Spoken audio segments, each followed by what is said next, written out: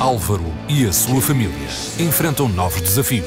Então que dá ter um colonialista aqui. As dificuldades na fábrica. Acabei de ser obrigado a votar o saneamento do meu patrão. O novo emprego de Mika. Amanhã vais à mercearia e dizes que não podes aceitar. E o amor proibido de Ana. O Gonçalo é namorado da Luísa e eu tenho que me manter afastada deles. Tornam a nova vida ainda mais difícil de aceitar. Vou começar amanhã.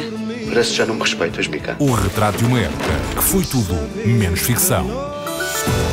Depois do adeus, domingo às 21 horas na RTP1.